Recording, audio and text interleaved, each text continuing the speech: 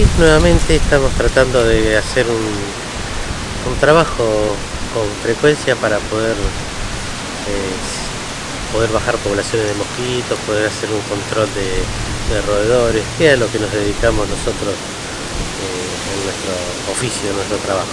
Los lugares que habitualmente hacen estos este, controles.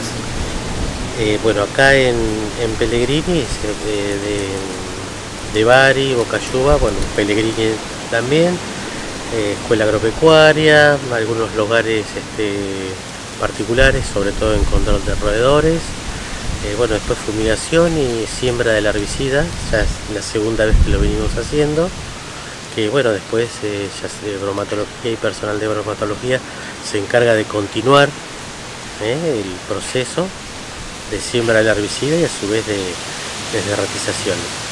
Y hemos este, estado charlando para próximamente poder hacer una mini campaña o especie de campaña de desratización, sobre todo en, lugares muy puntuales donde puede haber eh, o se han localizado un poco de, de roedores. No es para alarmarse, pero es importante y prudente poder tenerlos controlados siempre, porque si no crecen las poblaciones y después tenemos mayores inconvenientes. Néstor, como estamos ante la proximidad de un nuevo ciclo lectivo, ¿se pudo hacer de las escuelas del distrito?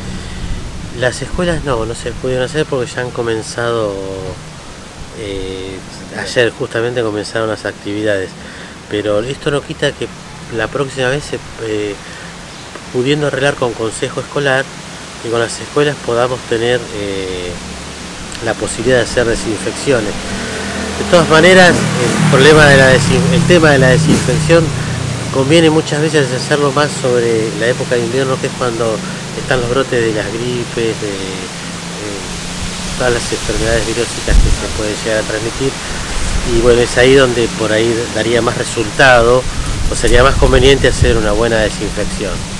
Posiblemente vuelvan para el mes de abril. Sí, es la, es la idea. eh, vamos a ver si.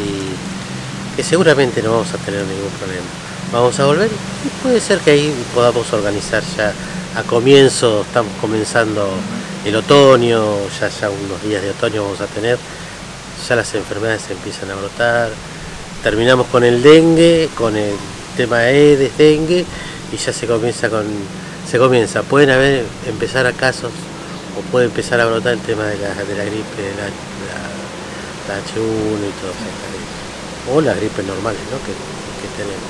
Bueno, muchas gracias. No, por favor, gracias a ustedes y siempre nos reciben eh, con mucha calidez y estamos muy agradecidos.